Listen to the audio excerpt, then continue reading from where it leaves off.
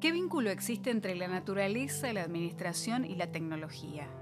La administración rural se propone organizar estratégicamente el entorno ambiental y buscar soluciones a los problemas con el objetivo de mejorar los servicios.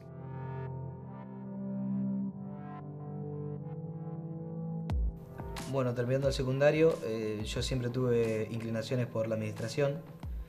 Pensé que las empresas podían funcionar de una manera correcta si los recursos disponibles se utilizaban de una manera inteligente. Eh, la licenciatura en Administración Rural brinda herramientas para eh, concretar eso. Bueno, un chico que está terminando el secundario, lo que le diría es que si la vocación de él es, primero que vea qué, es lo que le gusta, eso va a ser su vocación. Porque cuando termina el secundario es una etapa muy compleja, es como un punto de inflexión.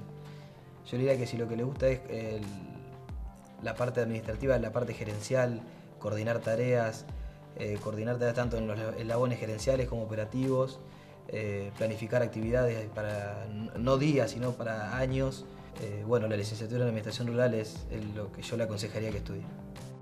Un licenciado en Administración Rural está altamente capacitado para organizar, planificar y llevar adelante cualquier empresa, ya sea una empresa agropecuaria como una empresa agroindustrial, y eso le permite poder desarrollarse donde más le guste y bueno, está altamente capacitado para poder desarrollar cualquier tarea que, que se le asigne.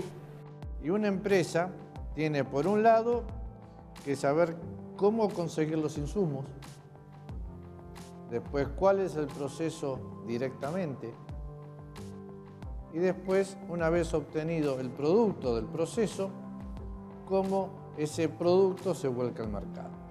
Por eso creo que poco a poco el gerenciamiento va a ir volcándose mucho más a sistemas de trabajo científicos y esa es la importancia de una licenciatura en administración rural. Planificar, organizar, dirigir y analizar empresas agropecuarias mejorará sus rendimientos, calidad y permitirá alcanzar una mayor productividad. Esta disciplina que hoy está en pleno crecimiento se puede estudiar en nuestras universidades nacionales y públicas.